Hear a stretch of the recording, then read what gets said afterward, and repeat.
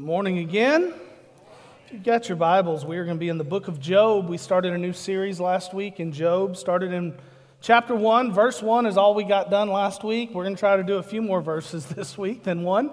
But uh, anyway, if you are joining us for the first time, we're glad to have you here today. Or if this is your first part of the Job series, we would encourage you to go watch last week's uh, message as well. We're going to touch on that briefly today as we. Uh, continue on into verse 2. But uh, we're going to be looking at Job's life, and a part of Job's life that, quite honestly, I've, I've never really seen or heard anybody else consider. I'm not saying I'm the first one to ever do it, I'm sure somebody has. But uh, this isn't a real pop- popular part of, of Job's story. And to be honest with you, it's not a part of his story that I've ever really seriously considered or examined myself before either. And I wasn't planning on examining it in this sermon series, but this week as I was preparing, the Lord just kept bringing me back to this section of the scripture, and, and um, I just, he just wouldn't leave me alone. As you can probably tell looking at your outline, uh, we have a lot of blanks to fill in today. The Lord just could not leave me alone on this. And so, what we're going to really be looking at today is, is the kind of father that Job was to his kids. And, and we're going to look at the faithfulness of this man to his family. Um, I, I want to just say a couple of things here right on the top. Man, I am. This sermon is not about my kids, okay? I want you to know that. Um, it's tough to be a pastor's kid. There are a lot of expectations on the lives of, of any minister's children. Um, as one of my kids and I had discussions about just this week, um, it, it can be really tough. And uh, I'm so grateful and thankful as I know Abby is, for the kids the Lord has blessed us with. They're not perfect kids, but we are so blessed by them and so blessed by their faithfulness and desire to follow the Lord. They are leaps and bounds ahead of where we were at their age in their faith. And so uh, we're extremely proud of them. And I just, I, I just don't want anybody to read between the lines and be like, oh, he's talking about his kids here, because I'm, I'm certainly not. Um, the other thing I would say is this if, if you're a parent or if you ever plan to be a parent, you need to realize that one of the hardest and most important things for your life will be to stand in the role of that of an unwaveringly faithful person to your family. That will not always be easy. In fact, there will be times when it will seem impossible like it was for Job, but it's important that we as parents understand that, that we have to stand and we have to be unwavering in our faith to those God has put in our family. Um, at the core, I really believe this church, at the core of the evil that the devil desires to inflict on humanity, at the core of that is the destruction of family. He wants to destroy families. And we, we see this all over the place. We see this attack and this assault on families in every aspect of our culture and society. I'm not going to take a long time here to rail against this, but, but, but I just want to point out that we see it. We see it from the feminization of America and the, the demasculization of manhood in our culture over the last 50 years. We see it in, in the lie and literally, I believe, the demonic falsehood that is the LBGTQ movement that is now mainstream in our culture.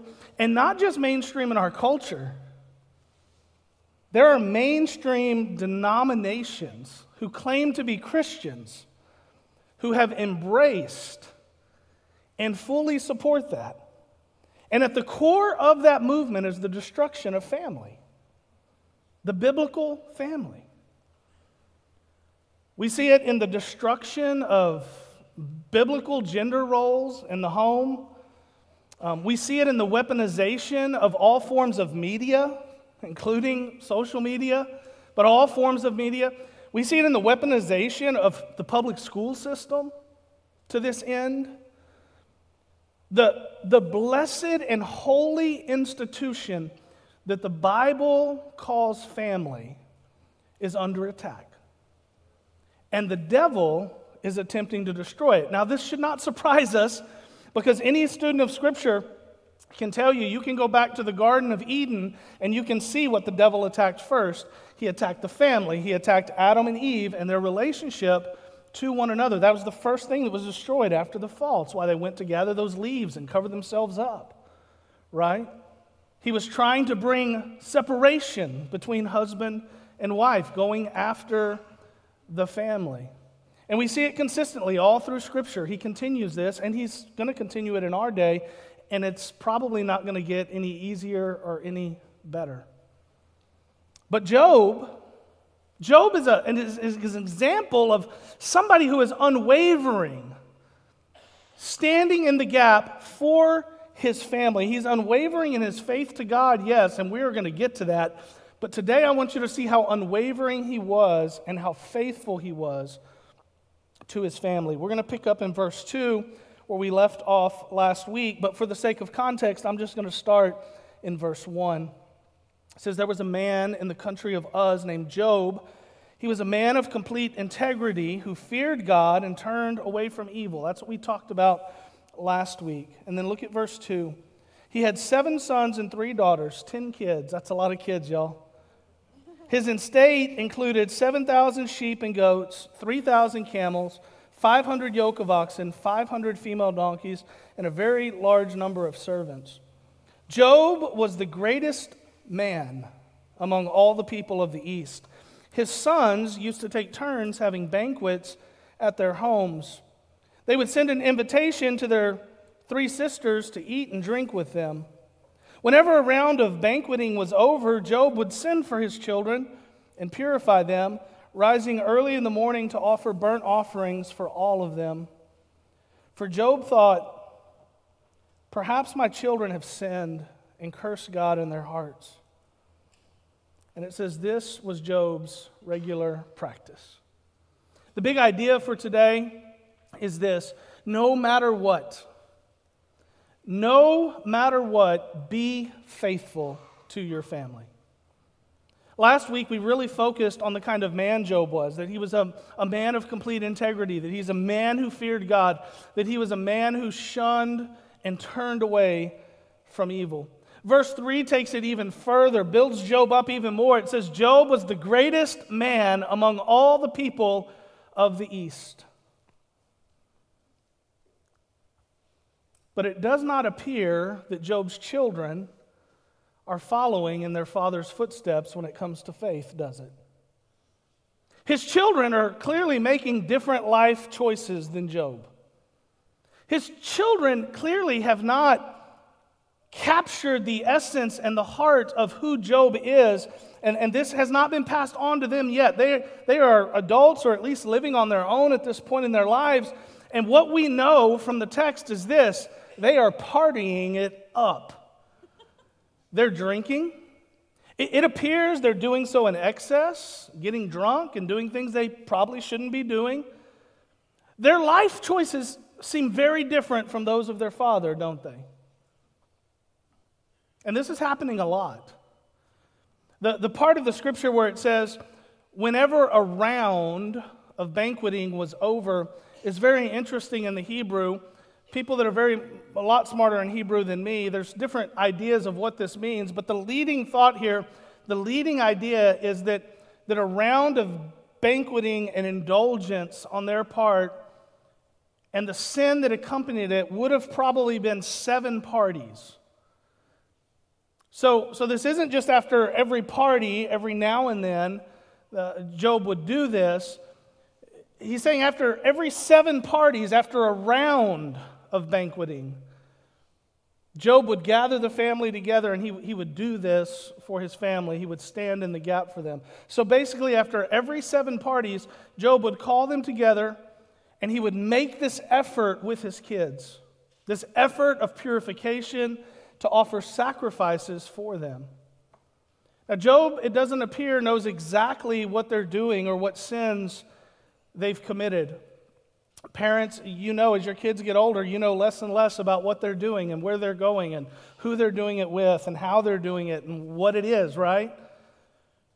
That's the stage in life Job's in. He doesn't really know what's happening, but he knew they were not living a life of complete integrity. He knew they were not living a life of fearing God. He knew they were not living a life where they are turning away from evil like, like he's doing.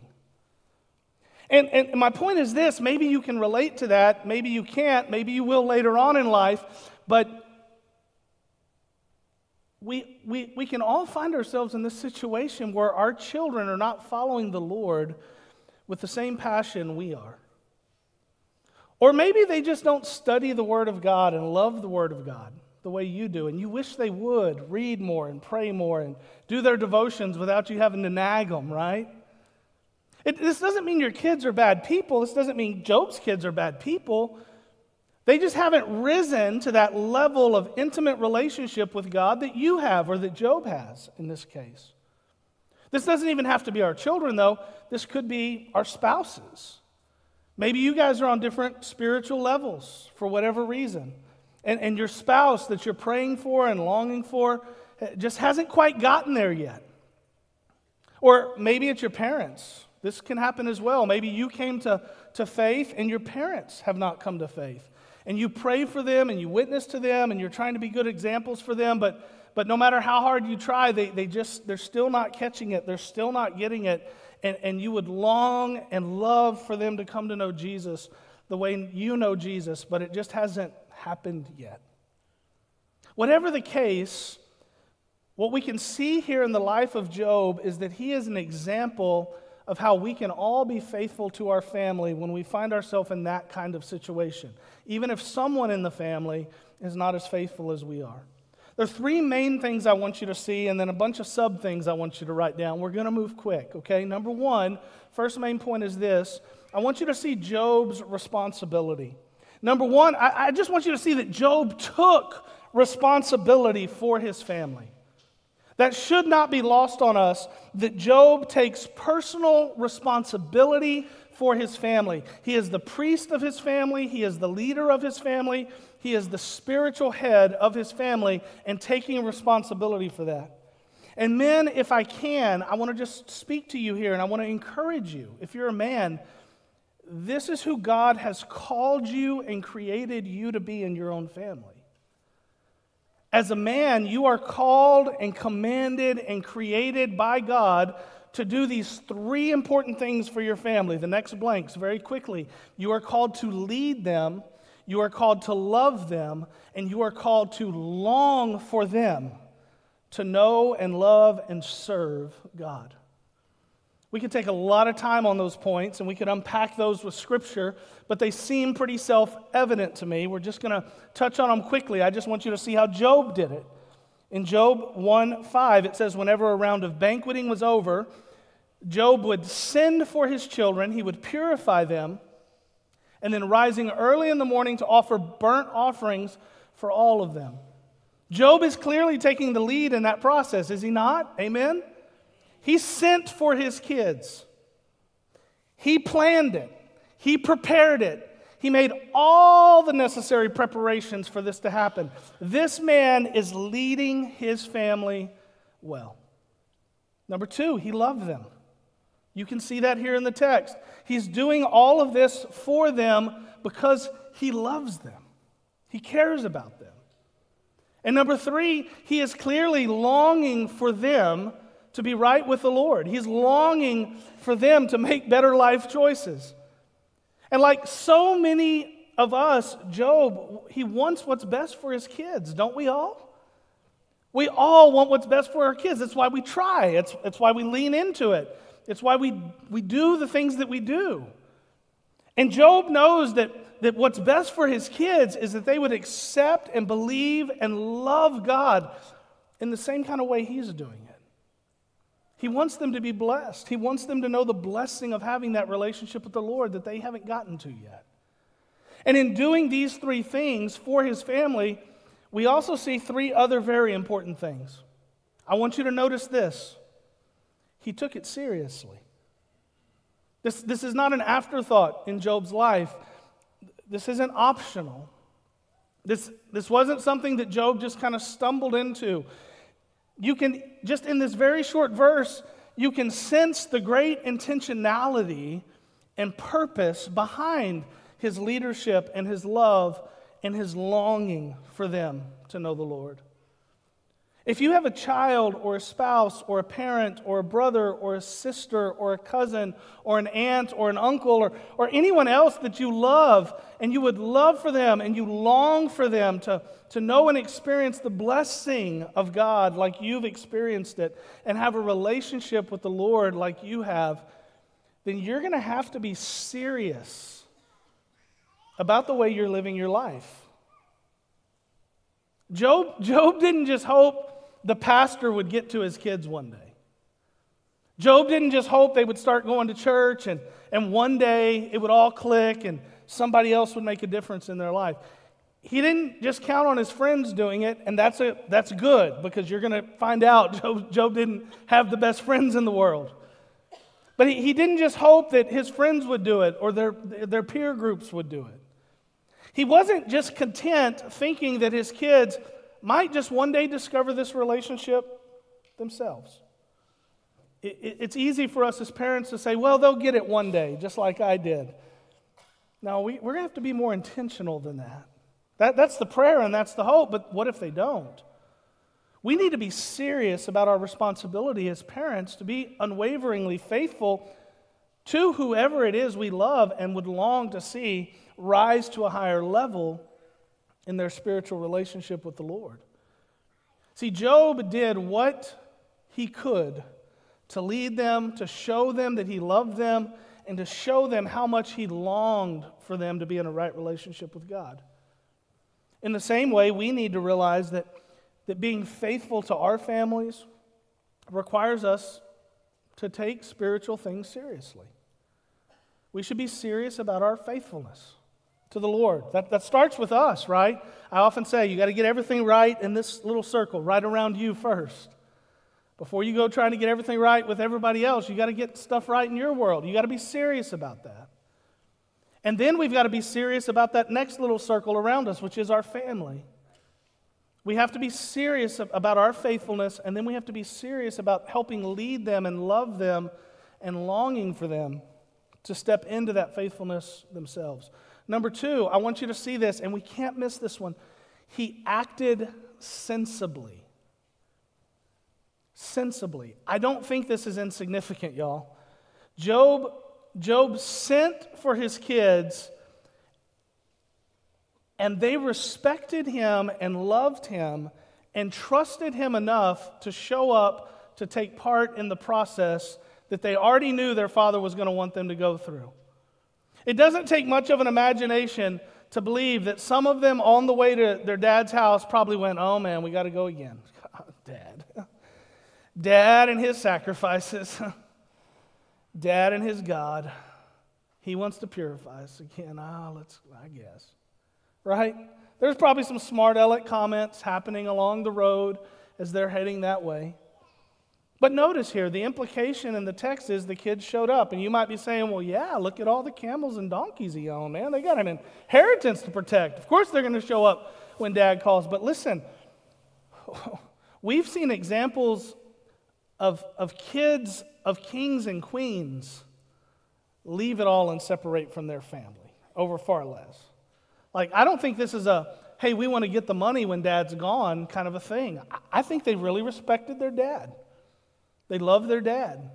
They, they showed up because dad said, I need you to come to the house. And they knew why they were going by this point. This is a regular occurrence, this is happening a lot throughout their life. See, I, I think that's because Job, as a man, had a relationship not only with God, he had a relationship with his kids. And he did all of this in a very sensible way. I often think about Ephesians chapter 6, verse 4, where it says, Fathers, don't stir up or exasperate, don't stir up in your children in anger, but bring them up in the instruction and the training of the Lord. And can I just tell you, that is a very fine line.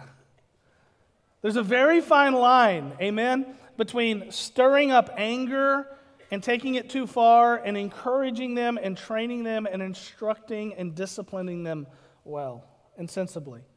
I'll be the first to say I've crossed over that line many times. My kids could give testimony, but we're not going to give them a mic today, okay? but, but there's a lot of tension in this verse. There's a lot of tension in that aspect as a dad or a mom. But, but I think the, the overarching spirit there, even in Ephesians, is you've got to do this in a sensible way. You've got to do this in a way that, that doesn't destroy the child, doesn't destroy the relationship, doesn't, doesn't destroy whatever you have between you and your mom and dad, or whoever it is, because this doesn't have to be children, as we said at the beginning. And this is hard. And it definitely requires wisdom from God and wisdom from the Holy Spirit but it appears to me that Job had somehow, as a dad, he had found that balance. And I believe we can find it and, and we can get there as well. But we've got to be sensible in our approach to this. If we take this to unsensible places, they're not going to show up anymore. They're not going to want to be any part of it. They're not going to want to have any part of our lives. And that's not good either, right? Look at this next one. He did it selflessly. Yeah, he was serious about it, he was sensible about it, but he's also selfless in the, in the act of doing it. In verse 5, it said he offered burnt offerings for all of them. Several of the commentaries that I read from people who are way smarter than I am, especially when it comes to Hebrew, they, they pointed out that this part of the text literally indicates that Job offered these sacrifices for each and every one of his 10 kids individually. So, so the picture here is not just Job said, Hey, everybody come to my house. We're, we're going to just do this sacrifice, and I'm going to sacrifice y'all. It's going to kind of be a general sacrifice for all of y'all. It appears in the text that, that this man made individual sacrifices for each of his kids. There's nothing in this for Job. Job's giving up his time to go through this great effort.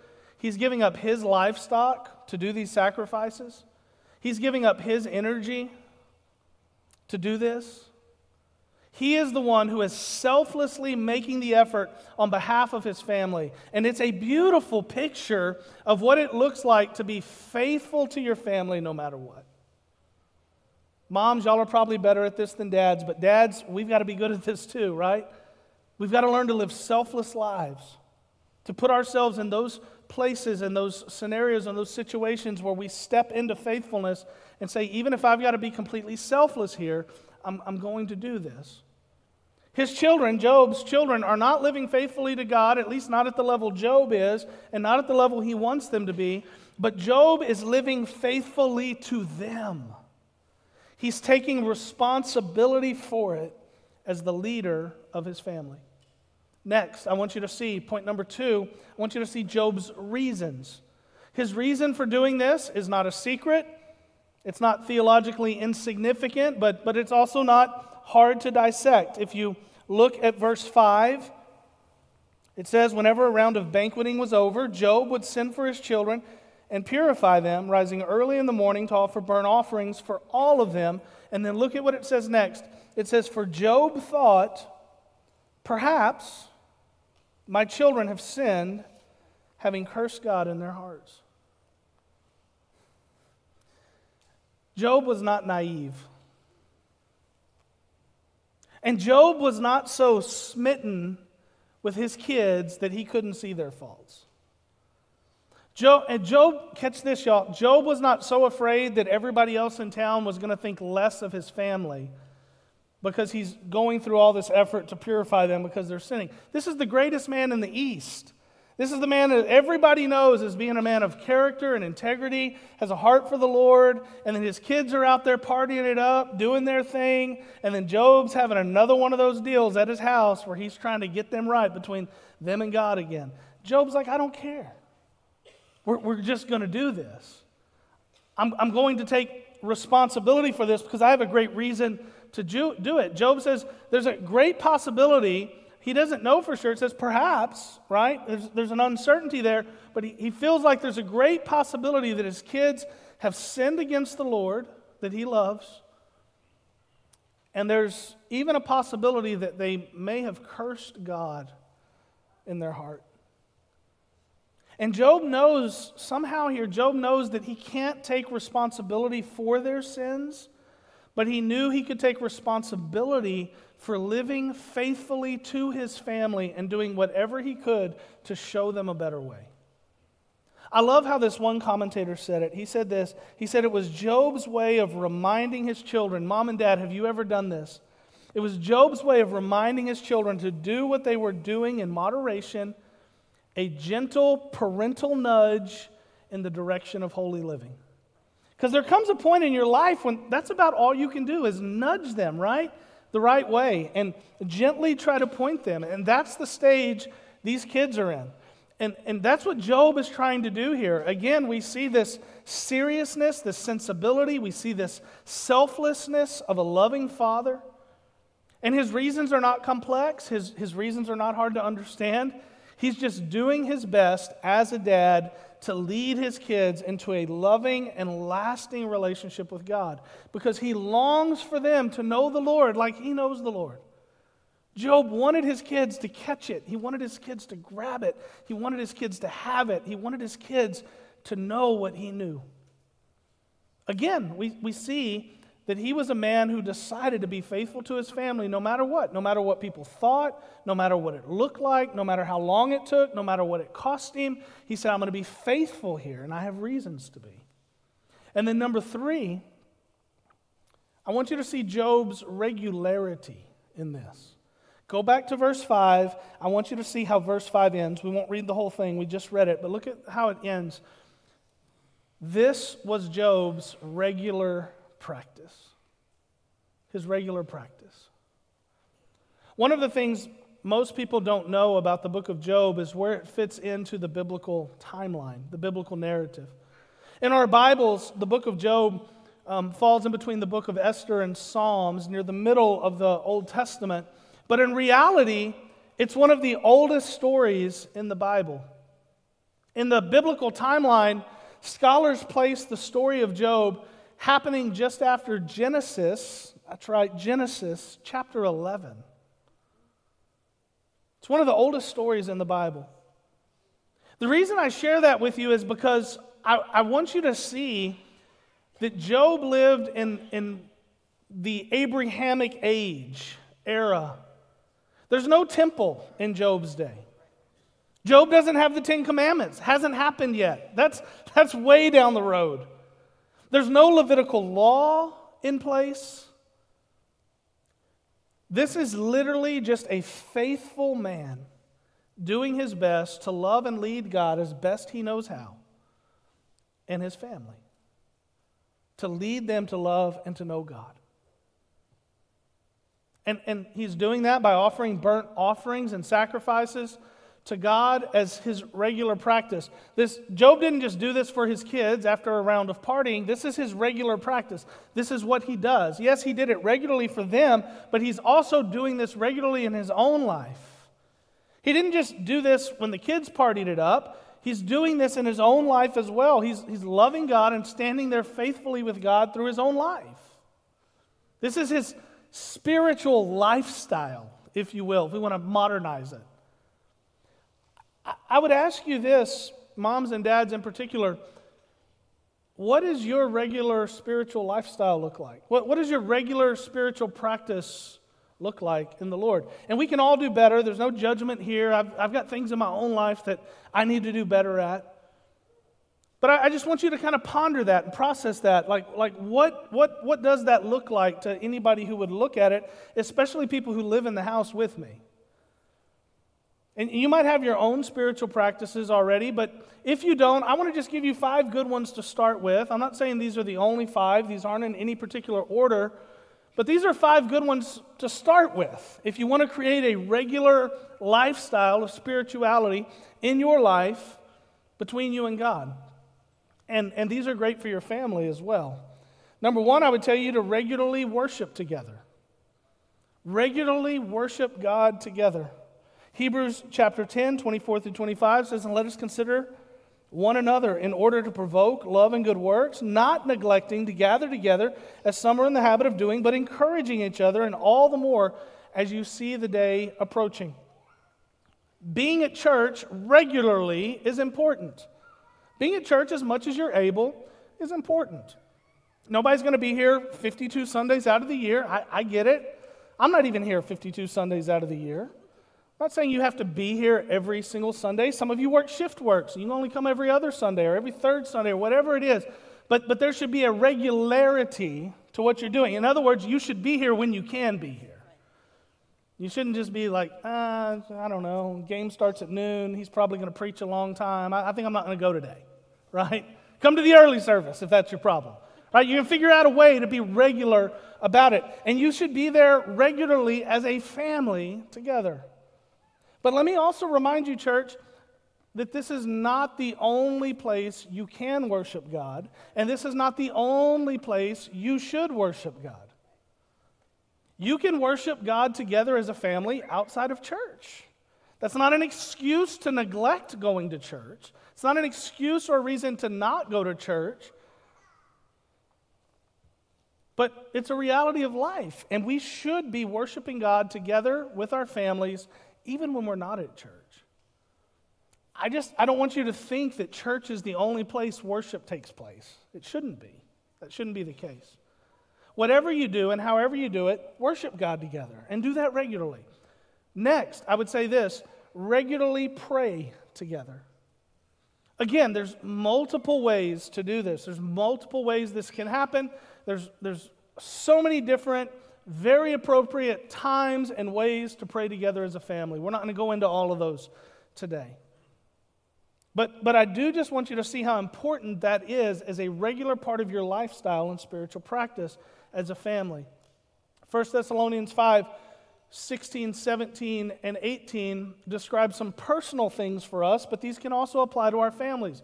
Rejoice always, pray con- constantly, without ceasing, some translations say, and give thanks in everything, for this is God's will for you in Christ Jesus. Th- those are three very important things we can do together as a family, and at the core of that is prayer. Pray together as a family. Next, I would say this regularly serve together. The New Testament is littered with verses about how we, as disciples of Jesus, are called to serve. We're not going to take time today to go into those. Again, this is very self evident all through the Bible. This isn't a new concept we need to spend a lot of time unpacking. But we should be serving together, and we should be serving God any way we can. Again, not just here at church, but anywhere God calls us to serve. And don't forget, you can do this as a family. I love seeing families or parents and a child or parents and a couple of their, their kids. For example, we have, we have some moms and some dads who are taking their kids on mission trips this summer, serving together through, through the church, but going to Africa and to other places.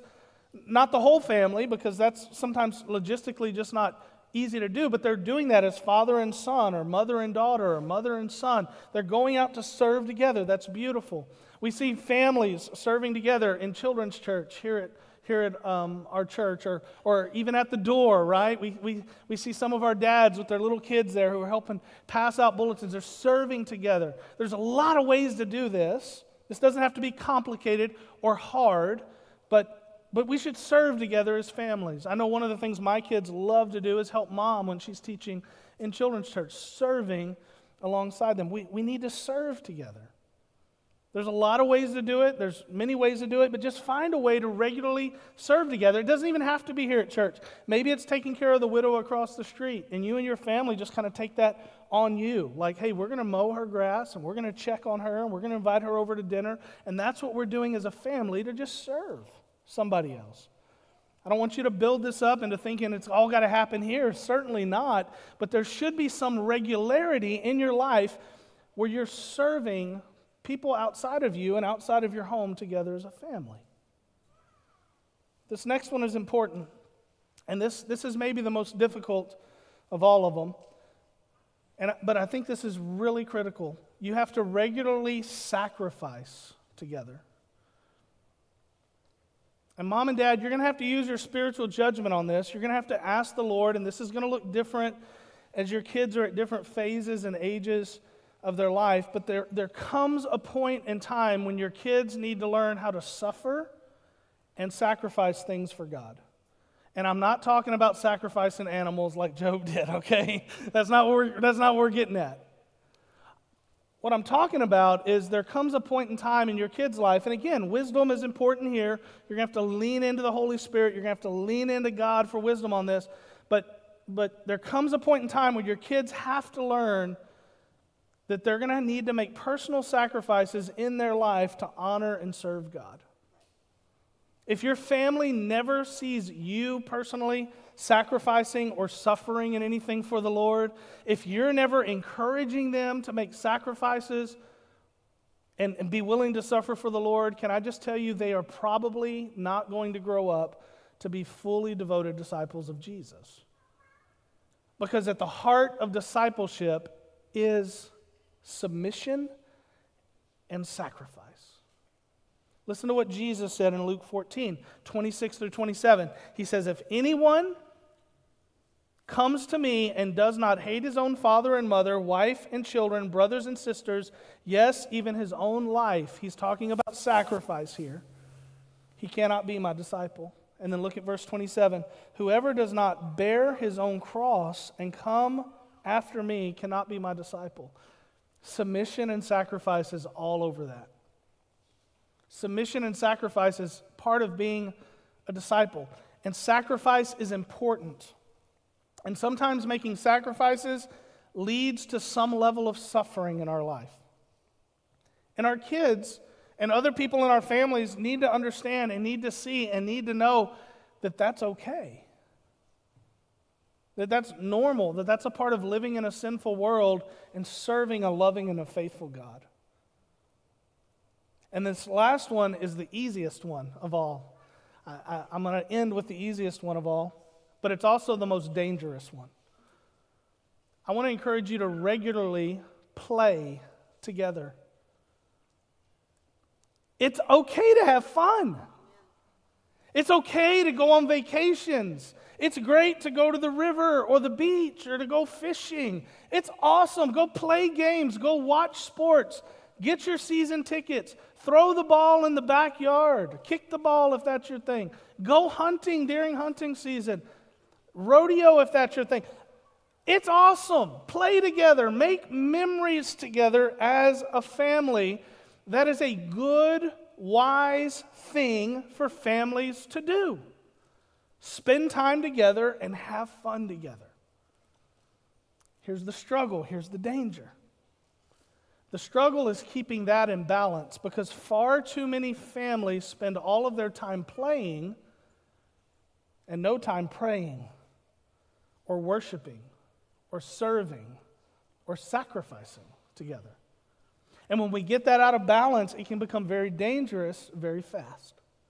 So we have to use wisdom there. It's good to play, it's good to have fun together, it's good to allow us to just soak up the goodness of God and celebrate who He is and the ways He's blessed us.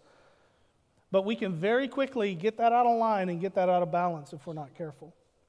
So we've got to guard that and we've got to be watchful over it. Again, no matter what you do, be faithful to your family. I think that's really the lesson of Job here. He's faithful to his family. You might be thinking, well, man, preacher, that sounds like a lot of work. I, am not going to lie to you. If it was easy, everybody would be doing it.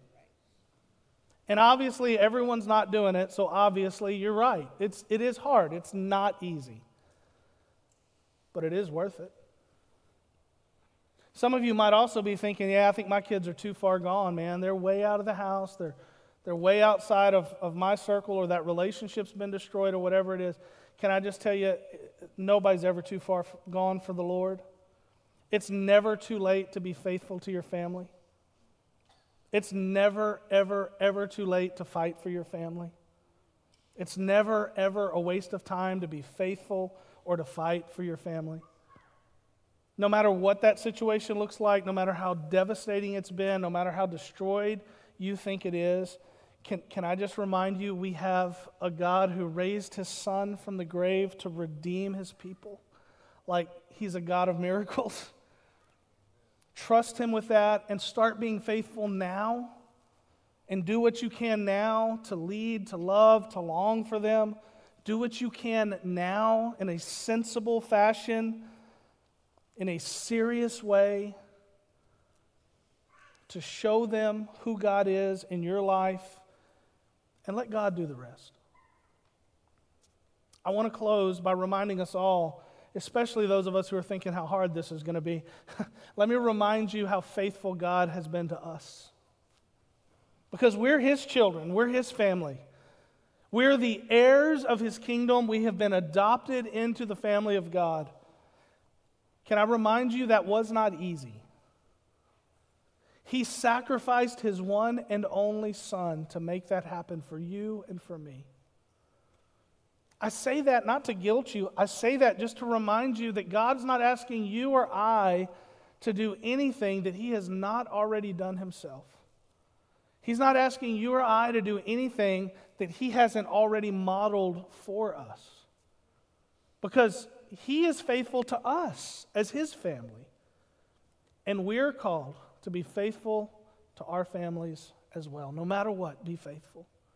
If you've never given your life to Christ, if you have, have never been saved from your sins, I want you to know how faithful God is. I want you to know that He is faithful to forgive you this very day if you will repent, believe, and be saved. 1 John chapter 1 verses 8 through 10 listen to the faithfulness of God. If we say we have no sin, we are deceiving ourselves and the truth is not in us. Don't let that be you today. Verse 9 If we confess our sins, he is faithful and righteous to forgive us our sins and to cleanse us from all unrighteousness. If we say we have not sinned, we make him a liar and his word is not in us. Don't be that one today. Be this one. Confess your sins. He's faithful and righteous to forgive you of your sins and to cleanse you from all unrighteousness this very hour if you will believe, if you will repent, if you will confess. He's faithful. He loves you. He cares about you. Let's pray. If that's you and you need the forgiveness and the love of God in your life, we invite you to accept it right now, right here, before we take the Lord's Supper together. I'm not going to ask you to raise a hand or stand up. Just pray right there where you are. Just say, Lord, it's me. I confess that I'm a sinner. I know that I've gone astray and messed things up. So I ask now by faith that you would come into my life and that you would change me. Lord, I ask by faith that you would forgive me, redeem me. I thank you for your grace, for your love, for your mercy, and for the example that you have set for me and what it looks like to be faithful to your family. Father, we praise you and celebrate you for those who have just called on you and come to know you as their Lord and Savior. We ask that your blessing would fall like a heavy dew, like a heavy rain onto them in this very moment, just like it did that first Pentecost Sunday, Lord, that they would feel the power of the Holy Spirit welling up inside of them. Lord, we thank you for the gift of grace, the gift of love Lord, we thank you for the model that Job was for us as we long to be that same kind of man or woman to our families today. And Lord, now as we approach your table and prepare to take the signs and symbols of your body, your flesh, and your blood into our lives, Lord, I pray that we would never forget the great sacrifice you made for us on the cross. Lord, you are so good, so faithful, and so loving. We ask your blessing now on this time in Jesus' name. Amen. Hey, this is Pastor Pete. Thanks so much for watching this sermon from Cowboy Fellowship. We hope you enjoy it. I want to ask you if you don't mind, be sure you hit the subscribe button, the like button, and then leave a comment, an encouraging word down below. All three of those things are so encouraging to us. They also help with the YouTube algorithm and help us as we're trying to get the good news out to the world. Thanks for watching this video. Thanks for being a part of our online family. We pray God blesses you today.